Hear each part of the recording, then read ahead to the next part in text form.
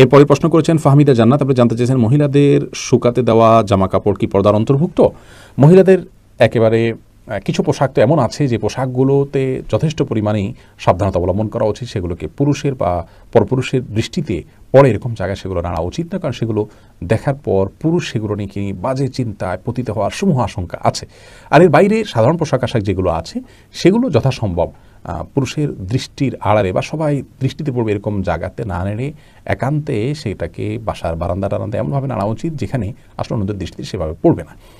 যদি পরের দৃষ্টিতে তাহলে এটি কোনো গুণা হয়ে যাবে বড় ব্যাপারটা এরকম না, কিন্তু তাকওয়ার খেলাফ হবে সন্দেহাতীতভাবে, কারণ এমন একটা ফিতনা সংকুল সময় আমরা পার করছি যখন নারীদের এই পোশাক আশাকগুলো এভাবে ভেজা যখন নাড়া হবে, সেগুলো দেখেও বাজে চিন্তা করার স্কোপ মানুষ পাবে।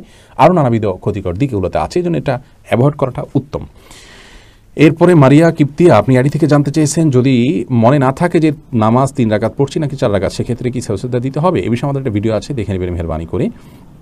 এমনি জাহাঙ্গীর হোসেন জানতে চেয়েছেন, আমি ব্লাউজ ডিজাইনের কাজ করি অনেক ডিজাইন আছে একটু নগ্ন টাইপের, অনেক ডিজাইন আবার ভালো।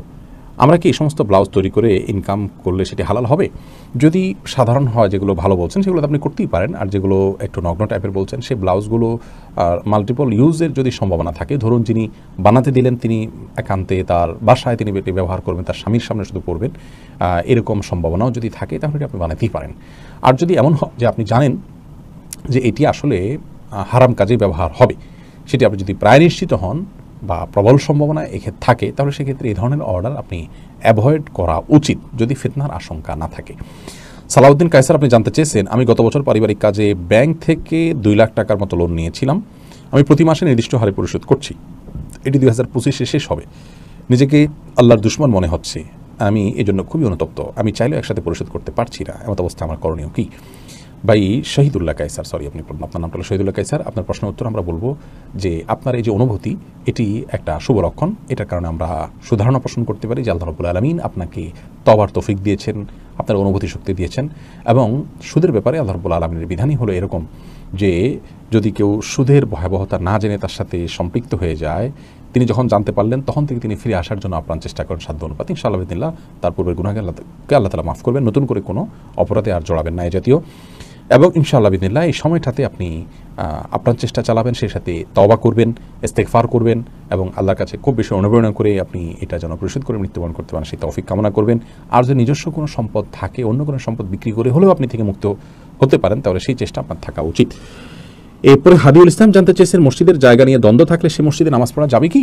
মসজিদের জায়গা নিয়ে যদি দ্বন্দ্ব থাকে, এই জায়গার মালিকানা কেউ যদি দাবি করেন, তার জায়গা জোরপূর্বক কেউ মসজিদ করে নিয়েছেন তারপরে সেখানে সালাদ আদায় করা হচ্ছে, এরকম যদি হয় এবং সেটি যদি নিছক দ্বন্দ্বের পর্যায়ে থাকে, সঠিক বেঠিক কোনটা মানুষ না জানে, নিষ্পত্তি না হওয়ার আগ পর্যন্ত সেখানে সালাদ আদায় করলে সালাত হয়ে যাবে। তবে যদি নিশ্চিত জানা যায় যে এটি আসলে কারোর জমিনে বলপূর্বকভাবে মসজিদ নির্মাণ করে সালাত আদায় করা হচ্ছে, লোকটি তাতে সম্মতি তার নেই। এরকম যদি হয়, তাহলে সেক্ষেত্রে সেই ভূমিতে দাঁড়িয়ে সালাত আদায় করলে জমহুর বা সংখ্যাগরিষ্ঠ আমাদের মত হলো সালাত হয়ে যাবে। যদিও এরকম জায়গায় সালাত আদায় করার কারণে সালাত আদায়কারীরা পৃথকভাবে গুণাগার হবেন, যেহেতু তারা অন্যের হক নষ্ট করছেন। কিন্তু সালাতের মৌলিক স্ট্রাকচার যেহেতু ঠিক রাখছেন এবং সালাতের যে শর্তগুলো আছে সেগুলো আদায় করছেন এর জন্য জমহুর আমাদের মত হলো এতে আপনার সালাত বিশুদ্ধ হয়ে যাবে। তবে অপরাধী হবেন সন্দেহাতীতভাবে। বিধায় এই জায়গা ছাড়া অন্য কোনো নিষ্কণ্টক জায়গাতে মসজিদ নির্মাণ করে সেখানে সালাত আদায় করা উচিত। এমনি হারুন জানতে চেয়েছেন, ছবিযুক্ত টাকা পকেটে রেখে নামাজ পড়লে নামাজ হবে কিনা? উত্তর হলো, নামাজ হয়ে যাবে, কোনো অসুবিধা নেই। মোহাম্মদ রকি জানতে চেয়েছেন, কারণ আপনার ছবি যদি ভেতরে থাকে, প্রদর্শিত না থাকে, তাহলে ইনশাআল্লাহ সালাতের জন্য সেটি ক্ষতিকর হবে না।